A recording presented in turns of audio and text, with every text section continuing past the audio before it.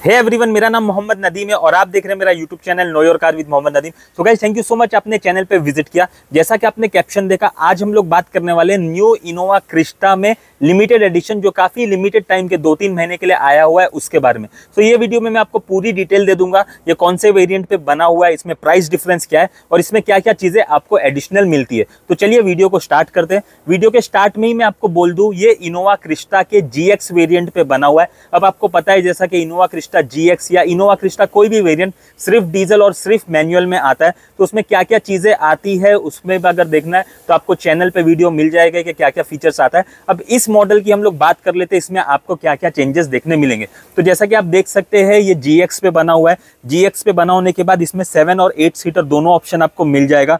अब एक regular GX और एक लिमिटेड एडिशन जीएक्स में अराउंड एक लाख रुपए का फ़र्क है।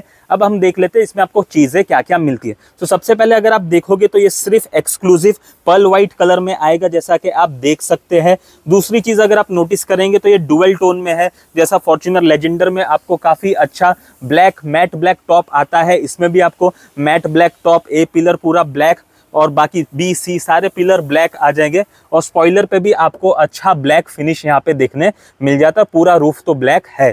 सो ये इसका सेकंड चेंज हो गया। थर्ड चेंज की अगर मैं आपको बात करूँ तो इसमें वी एक्स वेरियंट जैसा आपको एलॉय व्हील्स देखने के लिए मिल जाता है, जो डुअल टोन 16 इंच में डायमंड कट है। सो इसमें जो बेस है, वो ब्लैक कलर का है। और जो टॉप है, जैसा आप देख सकते हैं, ये काफ़ी अच्छा मेटल फिनिश में जो मशीन कट बोलते हैं, ऐसा डुअल टोन का आपको सिक्सटीन इंच एलॉय व्हील देखने के लिए मिल जाता है।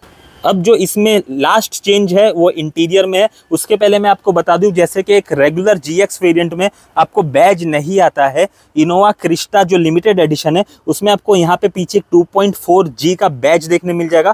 चलिए अब इसका लास्ट चेंज हम लोग देख लेते हैं। सो इसका जो लास्ट चेंज है वो इंटीरियर में जो फेब्रिक है वो वी वेरियंट जैसा आपको देखने के लिए मिल जाता है। सो so, होप सारी चीज़ें आपको क्लियर है। इसमें कुछ भी अगर डाउट है आपको आप कमेंट करिए। डेफिनेटली उसका भी मैं आंसर आपको दे दूँगा। Thank you so much